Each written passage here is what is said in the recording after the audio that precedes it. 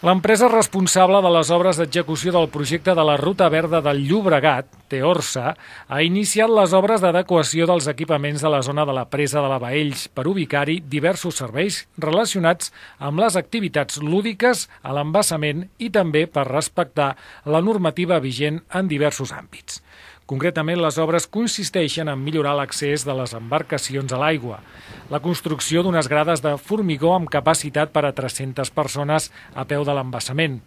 la col·locació d'una marquesina per la ubicació de 20 armariets per deixar els objectes personals, la localització de nous punts elèctrics i la instal·lació d'una planta de neteja i desinfecció de les embarcacions, atès que la Baells es troba en estat de confinament per la presència de musclo zebrat i la normativa vigent obliga a netejar les embarcacions en l'entrada i la sortida de l'embassament per evitar que aquest molusc invasiu, que no té pràcticament depredadors, es pugui escampar per totes les zones fluvials del país.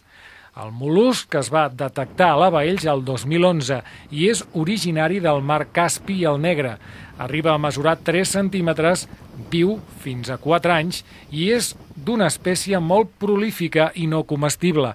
Aquestes actuacions al pantà de la Baells, que finalitzaran al final de l'estiu, permetran assegurar una correcta neteja de les embarcacions i també promocionaran una major accessibilitat i facilitat a les persones que utilitzen l'embassament de la Baells com a lloc d'entrenament i de pràctica esportiva, ja que des de l'any passat la Baells disposa d'un espai d'entrenament per la natació en aigües obertes de 1.000 metres, l'anomenada Via Blava de la Baells. Des del Consell Comarcal del Berguedà i l'Agència de Desenvolupament aposten per potenciar l'embassament de la Baells com un espai lúdic i esportiu de referència i per poder acollir i organitzar competicions i campionats.